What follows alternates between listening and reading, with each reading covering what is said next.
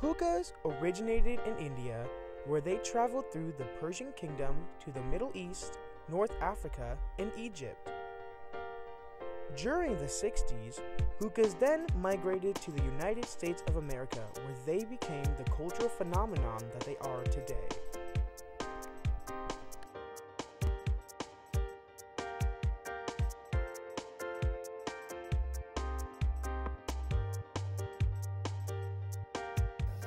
In my home country, smoking hookah, it's a ritual. Everybody does it. You know, you go visit people or whatever you go, they offer you the hookah. It's sitting, uh, you know, it's just growing up. I grew up with my grandfather smoking it every day. I was smoking the hookah. And when my grandpa shared this hookah with me, that's a great honor. That means not only that I'm a man in his eyes, but he likes me enough that he can hand me his hose. I think people in America uh, don't necessarily understand hookah and kind of what it stands for in the Middle East. I personally don't. I don't really understand. I know they use a lot, and I'm sure it has a much deeper meaning. But for me, it's kind of a more casual thing. I'm sure a lot of people over there are a bit more attached to it. It's a, a time-honored tradition, pretty much. Uh, it takes time to prepare it. So when you do prepare a hookah, um, you have to do it with passion. It's like people that smoke the pipe. They clean it out on a regular basis and so on, and don't allow people to uh, use it We have a lot of people that come by and they tell us that, you know, this is actually pretty good because after smoking hookah, we don't have to worry about driving home as if you were to go to a bar. I think we really target that 18 to 21, you know, age group where instead of going to house parties and, you know, drinking where they shouldn't be, they come uh, relax and smoke some hookah instead. That was like one of the first things on my checklist once I turned 18. For me and my friends, my friends and I were all like, "Let's go to the hookah bar. Yeah, it's gonna be super fun." So I don't know. That that was my biggest incentive to start smoking hookah was turning 18, I guess.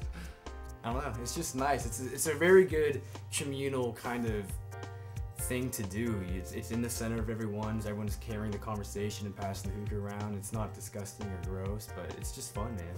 It's a recreational thing. It gets people together to go out, and I don't think there's any reason for them not to try it. it's a social piece and it's a piece for a person to spend 20 minutes um, you know to himself enjoying something uh, he or she likes To me, hookah is like an after dinner kind of uh, activity. Like you would go to the park or uh, have a picnic, eat your dinner or eat, eat your lunch or whatever, and then usually just sit back, sit around and smoke the hookah and ha- as like a conversational piece, sort of say.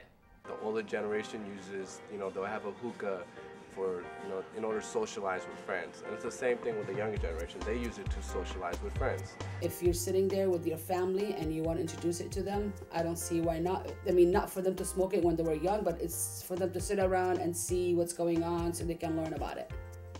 Oh, it's becoming like more mainstream in the American culture. If you look at if it being kind of an extremely Middle Eastern thing and coming over now, I've seen there's this Persian restaurant where I'm from, and it was only like Persian people in there doing hookah, and then now it's everybody in there doing it. And then Palo Alto's got hookah bars popping up, Mountain View's got had hookah bars popping up and stuff like that. So I think it's kind of becoming more mainstream. My fondest hookah memory is sitting on my balcony with my grandfather.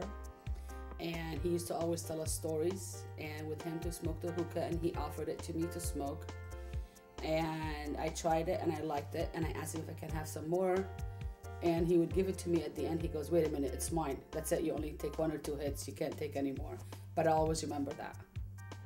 everywhere I go, or at least every party that I've been to when I was going through junior college, um, there'd always be a hookah there set up, and people always smoking it, you know, along playing with the beer pong and whatnot. So yeah, I would definitely say it's uh, pretty popular in America, and there's a lot of a lot of uh, hookah lounges that are opening up and whatnot.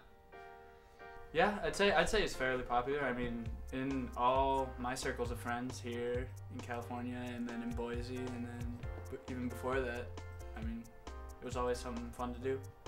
well it's been always popular with the older generation with the younger generation as long as there is new flavors as long as there is something to keep it to where it is um, uh, it's their own thing, as they call it, you know, then it'll stay popular.